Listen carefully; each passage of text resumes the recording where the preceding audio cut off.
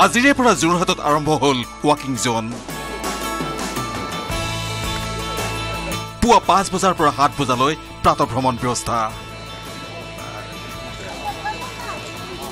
গুৱাহাটীৰ পিছত সোমবাৰৰ পৰা যোৰহাটতো আৰম্ভ হ'ল ৱাকিং জ'নৰ যোৰহাট নগৰৰ বৰুৱা চাৰিআলিৰ পৰা গীতাৰ্থী বিদ্যালয়ৰ সমীপলৈকে বৰপাত্ৰ আলিৰ এই পথছোৱা ৱাকিং জন ৰূপে মুকলি কৰে জিলা প্ৰশাসনে।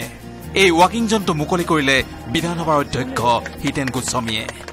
আজি প্ৰথমবাৰৰ বাবে ৱাকিং জ'ন মুকলি কৰিছোঁ। যোৰহাট জিলা প্ৰশাসন যোৰহাট পৌৰসভা আৰু যোৰহাটৰ দুয়োগৰাকী জনপ্ৰতিনিধিৰ সহযোগত এই দাবীটো বহুত দিনৰ পৰা উত্থাপন কৰি আহি- আহিছিলোঁ যে যোৰহাটত আমি ৱাকিং জ'ন লাগে। পলমকৈ হ'লেও ৰাইজৰ দাবীৰ প্ৰতি সঁহাৰি জনাই আজি জিলা প্ৰশাসনে এইখন মুকলি কৰি দিছে। সেইকাৰণে আমি জিলা প্ৰশাসনক ধন্যবাদ জনাইছোঁ। প্ৰতিদিনে পুৱা পাঁচ বজাৰ পৰা সাত বজালৈ গাড়ী মটৰৰ চলাচল বন্ধ কৰি এই পথছোৱা ব্যৱহাৰ কৰা হ'ব। প্ৰাতঃভ্ৰমণৰ বাবে। সুস্বাস্থ্য আৰু মুকলি পৰিৱেশত পুৱাই সকলোৱে খোজ কঢ়াৰ লগতে কৰিব পাৰিব যোগ সাধনাও এটা সুন্দৰ পৰিৱেশ। চহৰৰ মানুহৰ কাৰণে খোজকাঢ়িব অসুবিধা। গাঁৱৰ মানুহৰতো বহুত এভেইলেবল জেগা আছে। চহৰৰ মানুহৰ বিশেষকৈ খোজকাঢ়িবৰ কাৰণে ৱাকিং জ'নৰ দৰকাৰ আছে।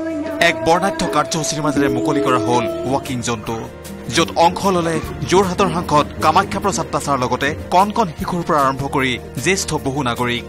সকলোৰে মাজত অনুষ্ঠিত হ'ল বহু প্ৰতিযোগিতাও। কংক্ৰিটৰ নগৰত মুকলি মনেৰে প্ৰাতঃভ্ৰমণ কৰিবলৈ বিচাৰিছিল প্ৰতিগৰাকী নাগৰিকে।